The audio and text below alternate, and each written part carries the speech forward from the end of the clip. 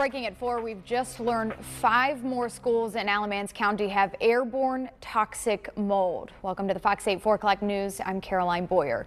Those five schools are East Lawn Elementary, Haw River Elementary, Eastern High School, Graham High School, and Woodlawn Middle School.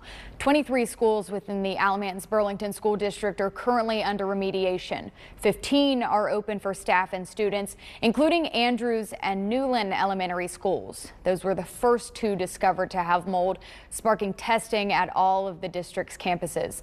Students at Newlin and Andrews Elementary are expected to return to class on Tuesday.